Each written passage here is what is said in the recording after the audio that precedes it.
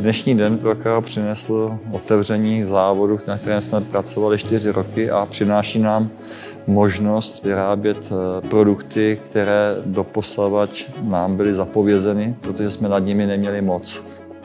Už v době, kdy jsme měli myšlenku vstoupit na pražskou burzu, tak jsme hledali prostory, kde se může Karo dále rozšiřovat. Brtnice se ukázala jako místo, kde je na co navazovat a zároveň eh, je tu infrastruktura, se kterou může Karo pracovat pro další rozvoj našeho podnikání.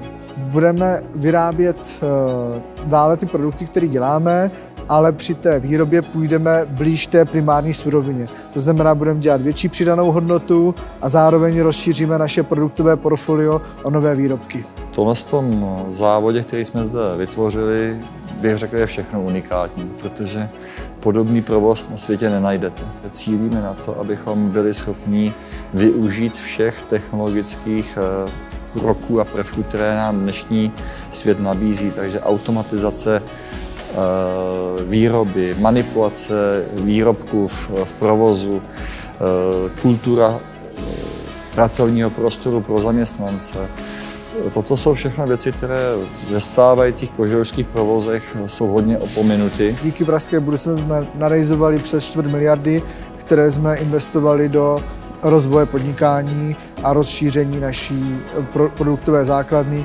díky které budeme naplňovat naši dlouhodobou strategii, dělat produkt, který vychází z odpadu a je, je to produkt s vysokou přidanou hodnotou.